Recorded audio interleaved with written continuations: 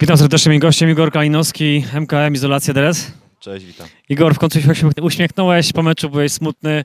E, No ta porażka dzisiaj tak naprawdę nie napawa optymizmem, jeżeli chodzi o wyniki, ale, ale jak kolega powiedział, przedmówca, e, z waszym poziomem grania e, jest pewny, że to wszystko też wróci na, na swoje miejsce. Zgodzisz się z tym? Taka, taka teza jego i moja.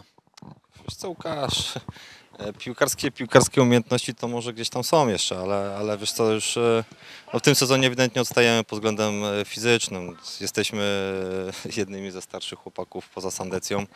E, Oni gdzieś tam powiedzmy bardziej czynnie się bawią od nas jeszcze, więc e, z tą fizycznością ich jest lepiej. Natomiast e, tak jak jest z nami, no to tak jak widać dzisiaj było na meczu, do przerwy e, utrzymywaliśmy remis, było dobrze, a potem gdzieś tam w wyniku zmęczenia było opóźnienie sekunda, dwie, ktoś nie zdążył, ktoś, ktoś nie dokrył, ktoś nie podbiegł do przeciwnika, no i wpada bramka e, dla przeciwnika tam na 2-1, potem na 3-1 powiedzmy, no i, i ciężko już było gonić, odkryliśmy się, no oni jechali z kontrą, e, mieli tego niesamowitego napastnika z przodu, chłopaczek, nie wiem, rekordy bił na setkę chyba szybkości.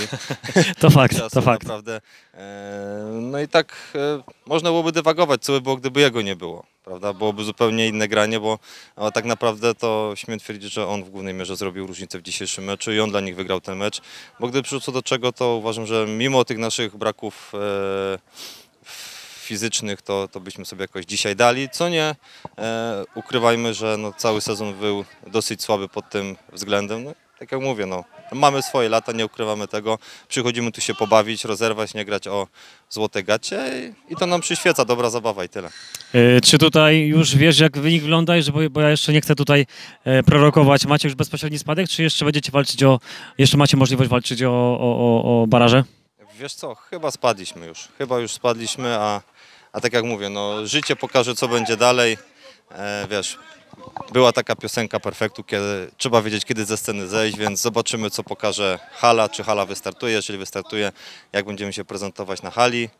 No i zadecydujemy wtedy, czy będziemy się bawić dalej w pierwszej lidze, czy nie, jak to będzie dalej wyglądać. Czy będą chłopaki chętni, bo tak jak mówię, teraz były też, e, wiadomo, na e, liga toczyła się przez całe wakacje.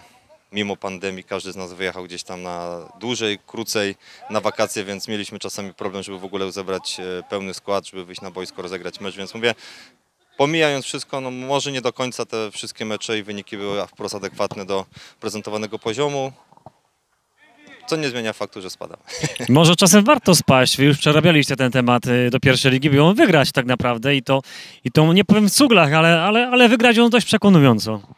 Wiesz co, Łukasz, no tak, tylko że wiesz, to było już 3 lata temu, teraz mamy 3 lata więcej, czy tam może nie 3, mamy 2 lata więcej I, i wiesz, gdzieś tam z tyłu głowy rodzi się pytanie, czy, czy dalej ktoś tam chce się szarpać o, o zwycięstwo z młodzieniaszkami, których nie jeden z nas mógł być ojcem tak naprawdę i więc, więc wiesz, sam wiesz jak to wygląda. Sam wiem, jak to wygląda, ale mi perspektywa grania w MKM Izolacji teraz nigdy się nie znudzi w mojej lidze.